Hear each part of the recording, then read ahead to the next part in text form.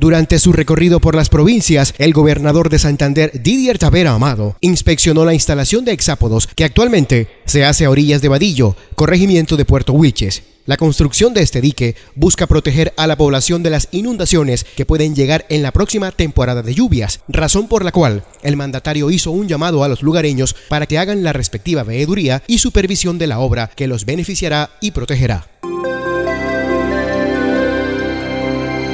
Santander nos une.